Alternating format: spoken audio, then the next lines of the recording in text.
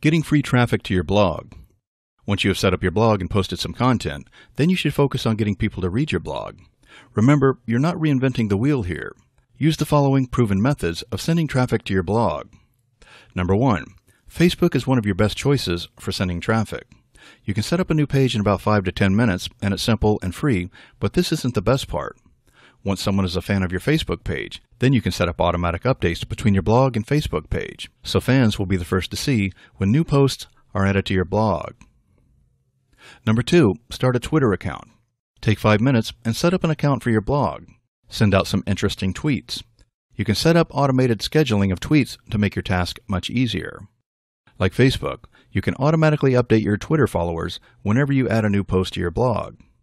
Ask others to retweet you so you have access to their followers as well. Continue building your following, tweeting interesting stuff, and be consistent. Number three, utilize forum signatures.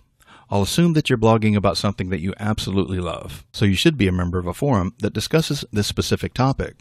Be absolutely sure to utilize your signature on these forums.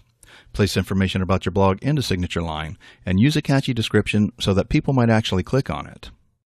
Number four, Social networking, RSS feeds, and blog directories are going to be our next tip. People don't normally just randomly stumble onto a new blog by accident. That's why you should add all of these buttons to your blog. They're not just for decorative purposes, but to give readers an easy way of sharing posts that they love. Finally, be sure to list your blog in the biggest directories. You can find a quick list of directories where your blog should be listed by Googling blog directories. Number 5. Comment on other blogs that are within the same niche as yours. Do this with popular blogs and add useful comments. Don't just go onto a random blog and comment, please visit my blog, because that's just flat out rude. Leave only helpful comments that add to the conversation. Always include your blog link in the blog's web field, and I also recommend that you can use trackable links so that you can know which sites are sending you the most traffic. Number 6. Find out if any blogs allow guest posting, and then contact the owner to set it all up. Guest posting is extremely powerful and most web owners are willing to allow them.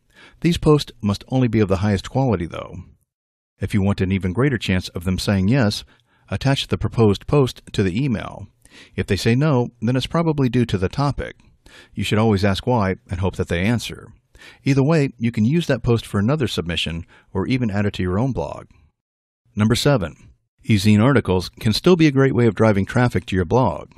People who search for information on Google often find themselves on e-zine articles, so why not try and let the article be yours? Include your blog URL in the resource box to get more free traffic. Sometimes you will find your article being posted on someone else's website, which will also give you more traffic and a free backlink.